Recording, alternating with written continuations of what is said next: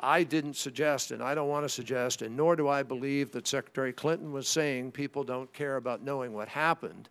I think she was talking about the difference between what the recommendations of the ARB were and implementing them and this notion that we have to go backwards. But here's what I say to you.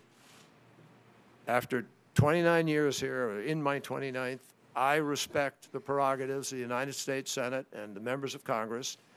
You represent the American people. You're the other branch of government. You have the right to know what took place.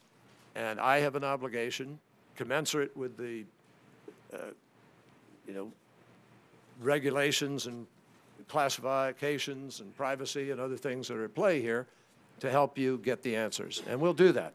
And I hope we can do it in a non-contentious, uh, appropriate way.